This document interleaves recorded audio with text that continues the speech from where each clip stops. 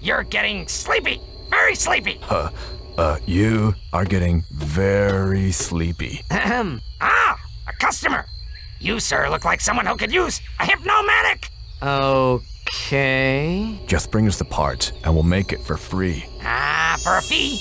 A very small fee.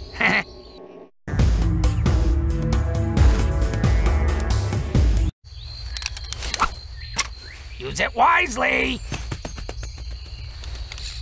Do not even think about it.